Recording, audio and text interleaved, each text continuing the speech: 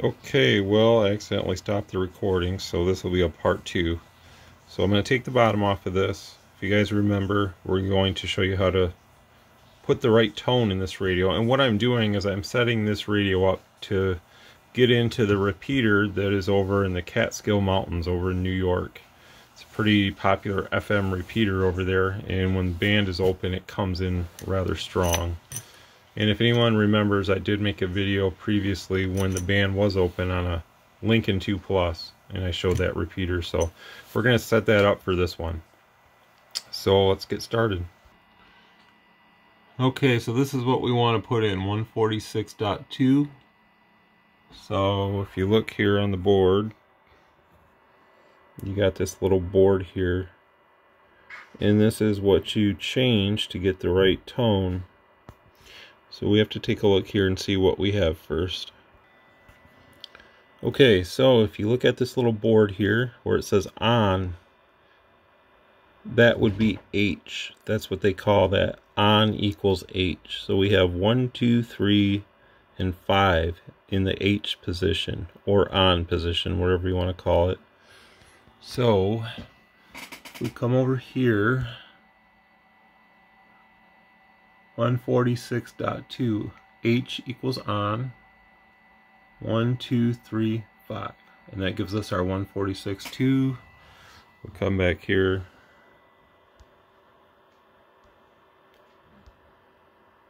Things acting kind of silly. 1, 2, 3, 5. The other ones are off. And if we key our microphone, here's our, kind of hard to see now, the radio is on it. So there we go. So we're going to transmit. There's our 5.2. You can hear our squelch tail.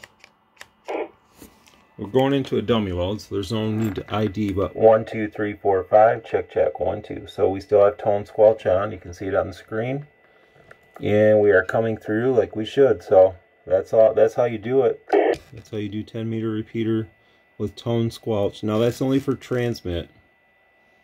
This radio does not have the ability, the 2600 that is, to do receive tone, tone. So you only get a transmit tone. Some repeaters need a tone. That's why it has that optional board. You don't need it for receive. You'll be able to hear everything. So if that frequency has other repeaters in other parts of the country and the band is open, well, of course, you're going to hear them. So it's just the way it is. Uh, we're looking at this radio. We got some glue in here.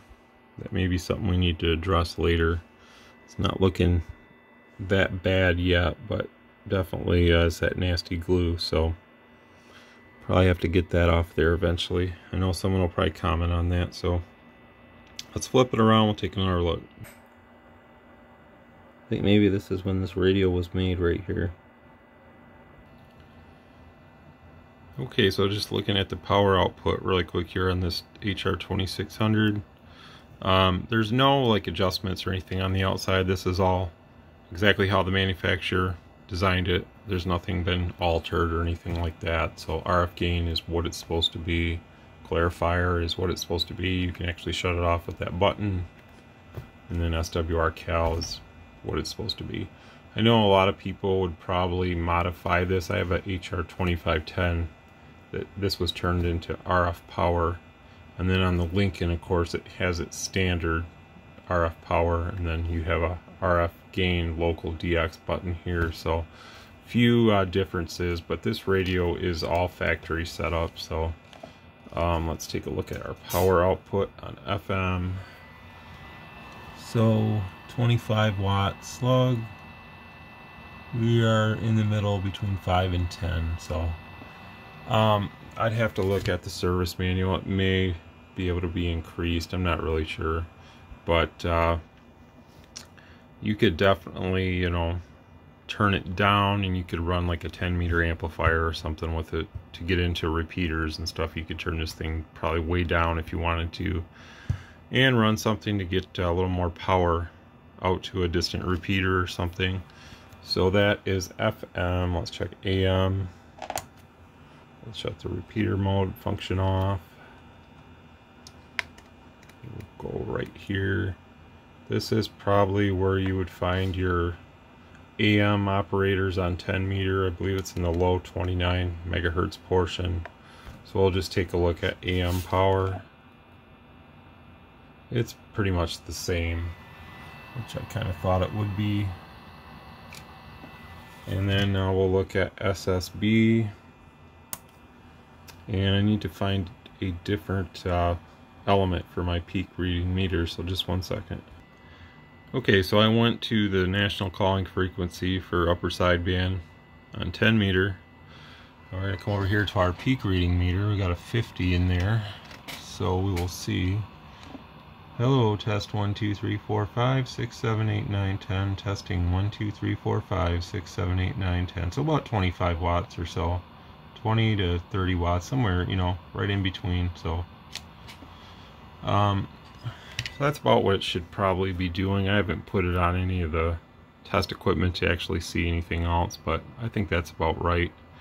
Uh, the HR2510, if guys don't know, it was called that because it was designed to be 10 watts AM, FM, 25 watts SSB. So that's about what this would be. It's relatively the same design, same power output, everything like that. So I think it works pretty good. Uh, let's try to listen to it really quick, see if we can listen to it. Okay, so I'm just going to speak into the microphone, and then we'll put our uh, camera over here. Hello, check one, two, one, two, three, four, five, six. Check, check, check. So it's pretty much right on the money, you know, like it should be. It's fine. So that's upper side. And just for the heck of it, we'll check lower.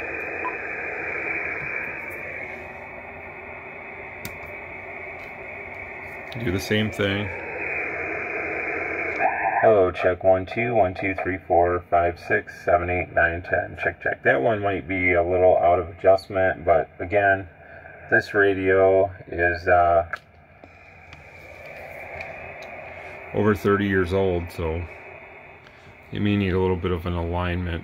But you really don't worry about lower sideband on a radio like this because you wouldn't use it anyways. Everything is upper when you're on 10 meters. So yeah, you could do it. You could go through and realign it just for the sake of argument that it would be better, but nobody's going to use lower sideband anyways on this radio, so it's kind of an afterthought. Really, they shouldn't even have put it on here. I think on the HR, or I'm sorry, the HTX 100, I believe it doesn't even have lower sideband. I think it just has FM, CW, and upper sideband, I believe. Maybe it has AM. I'm not. I'm not exactly sure. I'm not as familiar with that radio, but definitely I don't think it has lower sideband. So you receive incremental tuning, it doesn't work unless you push the button in. So kind of odd that they put that there. I think on the 2510 you had a PA, but this radio doesn't have that. So they could have used this probably for something else. I, I don't really know. Um, they could have put the repeater here. And I guess maybe they could have gave you the Roger beep. I guess they tried to make this radio a little more professional since it's designed for amateur radio. You wouldn't really use a beep. But they could have just put that where it is supposed to be and put that repeater button here. And this would have just been on all the time. That would have made more sense to me. But again, I didn't design it. So. And I know some guys will say, well, it doesn't do CB. Who? Why would you want it? Like I say, if you're an amateur radio operator, be more than happy to talk on something like this and get out there when the band is open. And again, you could probably turn it down a little bit and run some kind of amplifier with it and do 100 watts or more easily. So, but when the band is open, really, you could probably get by with that 25, 30 watts. People would come back to you with the right antenna, right conditions. So.